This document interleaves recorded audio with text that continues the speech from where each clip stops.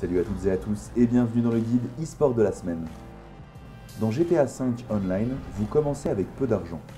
Et vous savez que votre premier objectif est de gagner rapidement des dollars pour vous permettre d'acheter un véhicule, des armes et des maisons.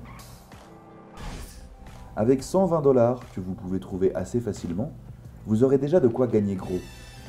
Allez acheter une arme simple si vous n'en avez pas ou prenez celle d'un policier.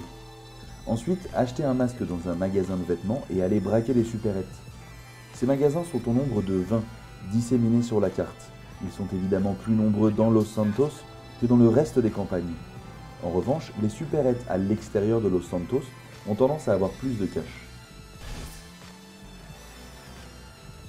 Avant de démarrer le braquage, assurez-vous d'avoir un véhicule devant le magasin pour être prêt à vous enfuir. Dès que vous êtes en place, enfilez votre masque et rentrez dans le magasin. Il vous suffit de viser le PNJ au comptoir pour qu'il ouvre la caisse. Si vous voulez qu'il remplisse les sacs plus rapidement, vous pouvez tirer sur les objets près de lui, comme les bouteilles ou les paquets de cigarettes. Attention, certains sortiront une arme pour se défendre. Très rapidement, vous aurez eu le temps de braquer chacune des supérettes pour un total de entre 20 et 30 000 dollars. Pour suivre votre progression, allez sur la carte et sélectionnez les supérettes qu'il vous manque. Pour quelques dollars bonus, vous pouvez également détruire la caisse du comptoir.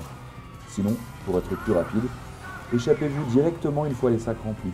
Vous n'aurez alors que deux étoiles en général, qui sont assez rapides à perdre.